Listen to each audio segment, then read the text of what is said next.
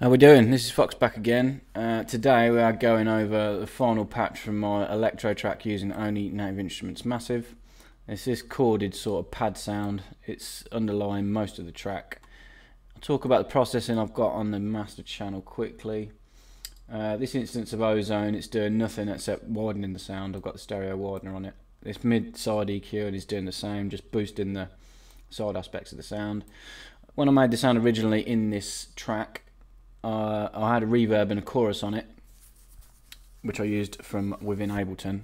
But to make it better for you, I've now transferred the reverb and the chorus to the patch itself. Uh, I'll just say quickly, as with all of the other videos, um, there'll be a link in the description to this track where you can watch me make it from start to finish.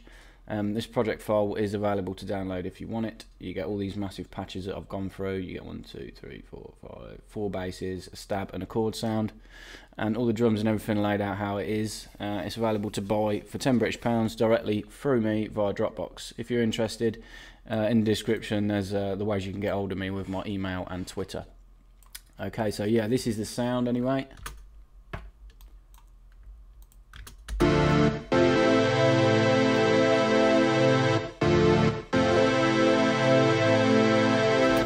I'll turn the side, turn the side chain compression on so you can really get to gist of uh, how it was used.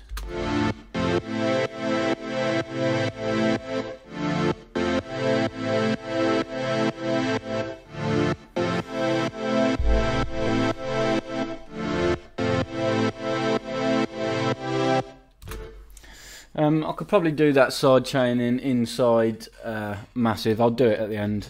We'll turn the compressor off for now. Uh, yeah, I'll initialize this and I'll show you how I made the sound. So, oscillator 1 was a square saw wave. I kept it all the way around to a saw wave.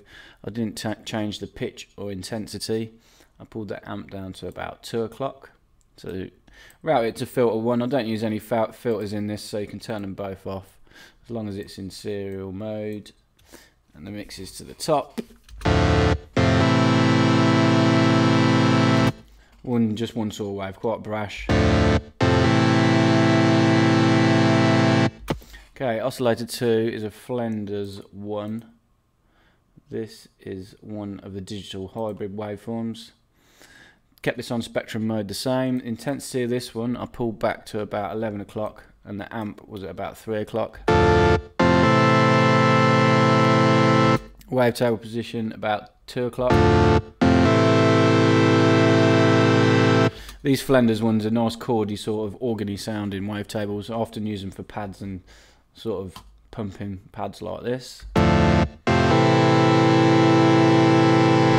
Oscillator 3 is another square saw wave. I pulled this to the middle so it's like a cross between a square and a saw wave.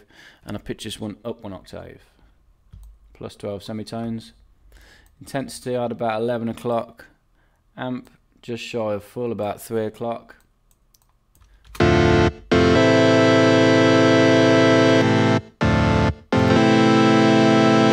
It's adding the higher aspects of the sound.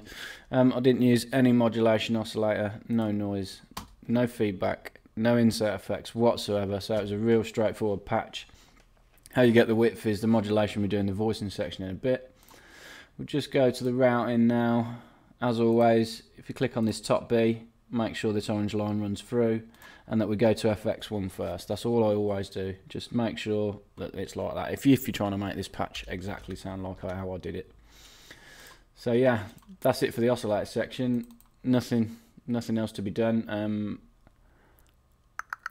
yeah, we'll go set master envelope 4, which is for the amp. Make sure it looks like this, level round on full. Um, yeah, the only other thing I did in the voicing section, I gave it a lot of unison voices. I'll crank it up while you can hear me doing it. I got to 11.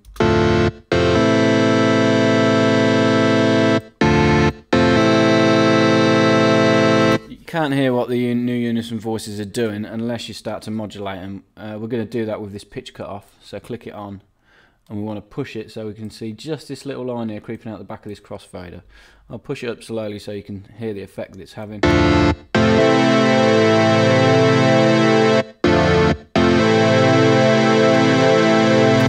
What this does is um, you can set the boundaries of how far you want this slider to move the new unison voices. The bottom being set at naught and the, this box is set at one semitone. So this here, it's a, a tiny bit of unison detune. It's what a tenth of a a tenth of a semitone, so 10 cents. But because you've got 11 of them, it spreads them out across, it makes it really, really wider. If you go too much, it can get real muddy.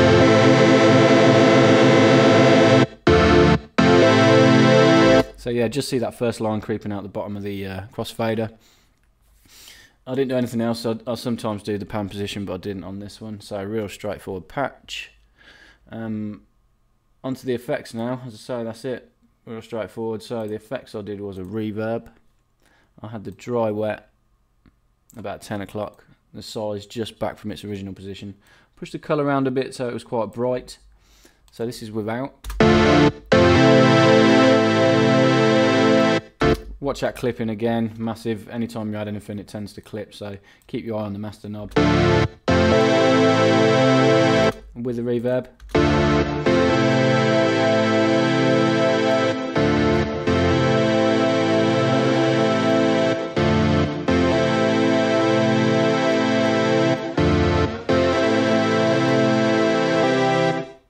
You can dial this to taste. It's probably better like that actually. Both dry, wet and size about 10 o'clock. Uh, the other effects I used was a chorus. I often use a chorus on a pad. So I had this on the lane. It was an Ableton chorus, but for the sake of this tutorial, I've now changed it so you've got it in here. Uh, the dry net wet for the chorus, I had pretty much the same as the reverb in between 9 and 10 o'clock. Rate, offset and depth, all how it comes as standard. So this is without the chorus and with.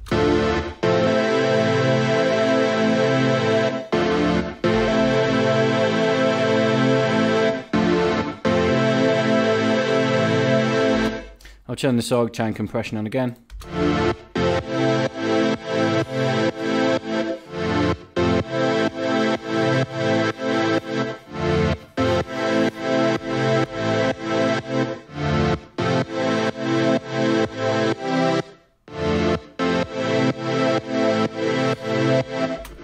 So yeah, you see this uh, shape we've got going on here. We can recreate this side chain compression with Massive. I'll do this on the fly now. What we're going to do is we're going to use our Performer. If we change this first one to a Performer, set the crossfade to the bottom one. We're going to load a curve. We want it to look like it did in the bottom of that side chain compression, so this one's going to be the best pull this down so we're only using the one repeating over and over. And we're going to use this on all the amps down to zero. This should give us that pumping feel.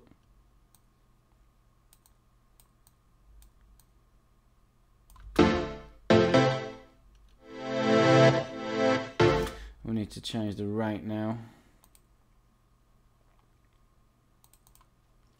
So click on the low curve box. We're going to sync it and we want it 1 over 4 should be. I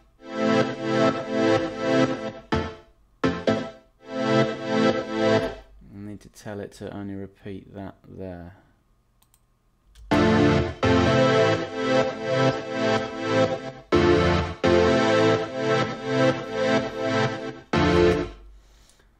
Not too sure how we do that restarts back on.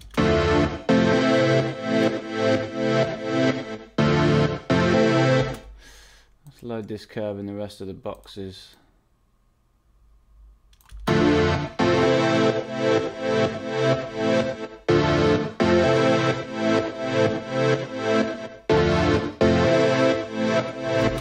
We'll pull the amps down to zero and push them positive, that might give us more of the pumping feel.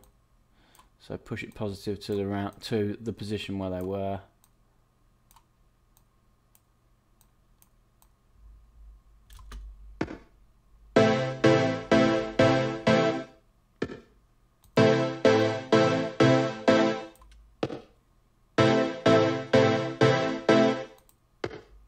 No, it worked best the other way, so we'll change the curve back again.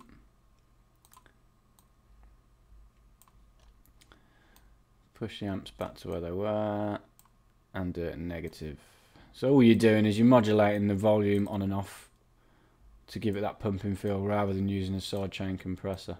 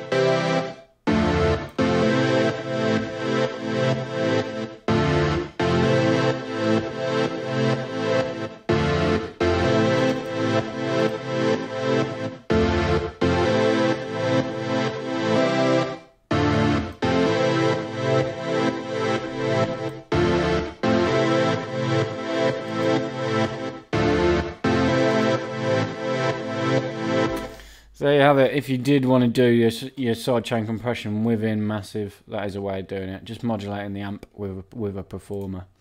I prefer to do it with sidechain compression because the EQ on the compressor in Ableton is awesome. You can home into the click of the kick and really get that nice pumping feel.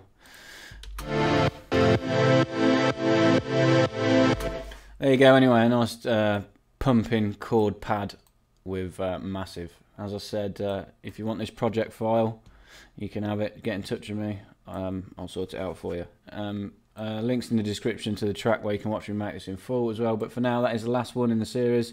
I'm going to be moving on to uh, the silent trance track I did. I didn't do a tutorial of me making that because I took a little bit more time as it was a project that I really wanted to make sure was sound before I let people have it. It's got some really, really special patches in there. A couple of pads and that are awesome. So I'll be moving on to that next. But for now, that's me done. Uh, check me out on Facebook and Google. Plus, it's Sound Design Tutorials. Okay, thanks for watching. Cheers.